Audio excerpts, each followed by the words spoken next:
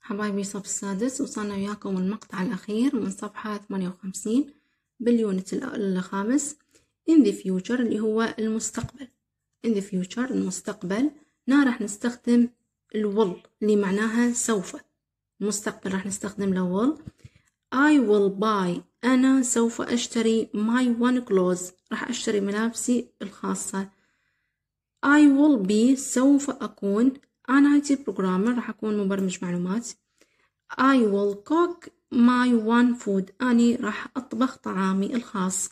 ننتبه أو نلاحظ أنه الضمير مع will مجرد. ضمير will مجرد. هاي قاعدة المستقبل. سهلة. ضمير will مجرد. الول يجي بعدها الفعل مجرد.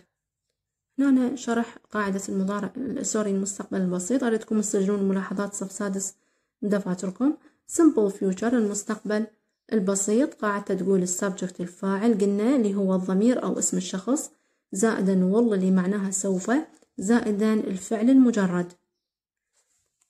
بهذا الزمن حتى ما ننسى ننتبه نقول تجي دلالة زمنية نهاية الجملة اللي هي tomorrow. غدا دلالة على إنه الحدث أو الجملة بالمستقبل. لم تحدث بعد. ونكست القادم. next القادم. Week next week الأسبوع القادم next month الشهر القادم و next year السنة القادمة. مثال على تطبيق قاعدة المستقبل قلنا الضمير will مجرد. علي will visit.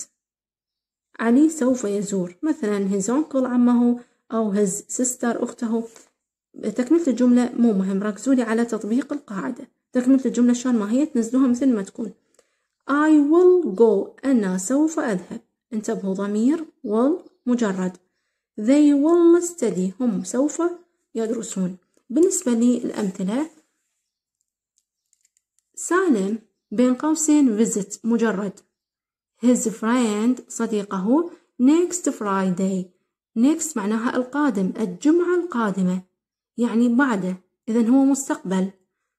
Correct صحح. شو الصحح الفعل اللي بين قوسين؟ بما إنه القادم فراح نقول سالم will visit. سالم will visit. His friend next Friday تنزل نفس ما هي الجملة بس بما إنه عندي مستقبل هو نعطيني الفعل مجرد يبقى مجرد بس أخلي will بين الضمير والفعل. They write مصدر أيضا أو مجرد هم جمع. Write a homework آه يكتبون واجبهم. Tomorrow غدا. Correct. شلون أصحح الجملة هنا؟ They will write هم سوف يكتبون a homework الواجب البيتي tomorrow غدا. سوف. إذا بس أخلي الول لأنه قاعدة لازم يكون بها ضمير will مجرد. ثلاثة. سارة is eating an ice cream. هنا عندي مضارع مستمر. ضمير مع مساعد مع ing سارة تتناول آيس كريم simple future مستقبل بسيط. نهاية الجملة يعطيكم إنه يريدك تحولها بالمستقبل البسيط. أنا أعرف قاعدة المستقبل هي ضمير will مجرد فراح أقول سارة. ماكو إز. ما أريد الأفعال المساعدة عندي بس الول سارة will eat سارة will eat مو eating أحذف الآي جي وأحذف الإز يعني مو مضارع مستمر. سارة will eat an ice cream بس. ما تخلون دلالة بنهاية الجملة لأن هو ما نعطيكم بيها.